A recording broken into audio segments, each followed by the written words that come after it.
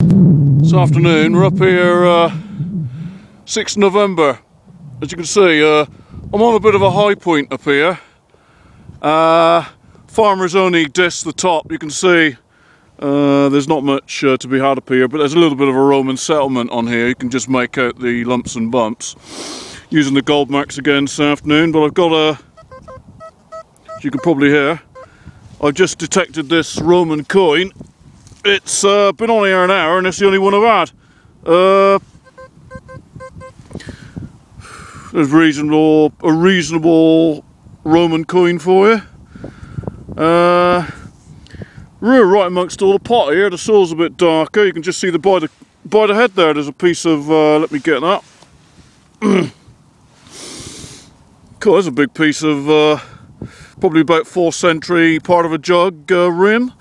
Uh, been heavily detected this site. I mean, you're lucky to get any signals on here now, but um, it's getting late and it looks like I have it uh, after an hour. I've managed to find a half decent coin, so we get this one back and we're going to stay till late. And uh, if there's anything else to be found, we'll uh, share it with you a bit later. So, uh, um, unless anything else comes up before it gets too late, I'll uh, crack on. But say the settings on the Goldmaxx uh, pretty uh, got it stoked up today because um, an awful lot of iron, but uh, the Goldmaxx is coping brilliantly. Uh, we'll get back to you later. Fingers crossed. Yeah, I don't know what you can see. Uh, got a couple of own coins up here this afternoon, nothing uh, major, but looks like I got a brooch here. Uh, God, it's had a bit of a bashing. It looks like a quite an early one, but it's uh, got a um, got a real good kink in it. Uh, looks a bit like a hook, but it's definitely a brooch. Um, we'll take it back because it's getting darker. We'll uh, we'll stay till late, and um, I think we'll probably get a few more bits before we go home. So keep our fingers crossed. There's another uh, nice deep Roman coin. This is probably the fifth of the day. I've just had a small minim. There you go. Just on the edge of the hole there, look. Tough going up here this afternoon.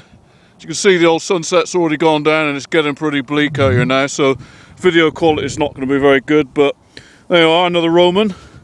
Getting back, can't see what it is, but we'll clean him up. Thank you. The first of the coins uh, that come out of that uh, field this afternoon is probably the best one. This is a, a Roman third century coin of uh, probably Antonius. Uh, it's been a bit nibbled there, but as you can see, it's got quite a good bust on him, and uh, two figures there. Um, the second coin that came out still got a bit of a bust on, which I think uh, probably shows Valens. Uh, got a few chunks taken out of him, but as you can see, there's a coins are very few and far between on that field.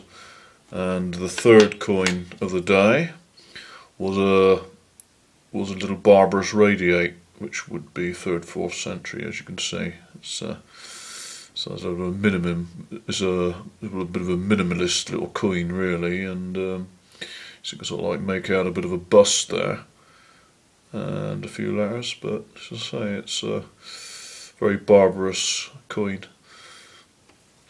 the brooch was a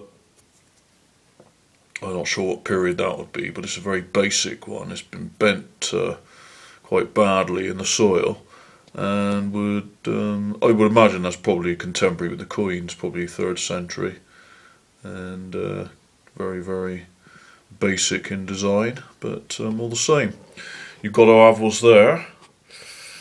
You know, no silver this time, nothing to trouble the coroner, but. Um,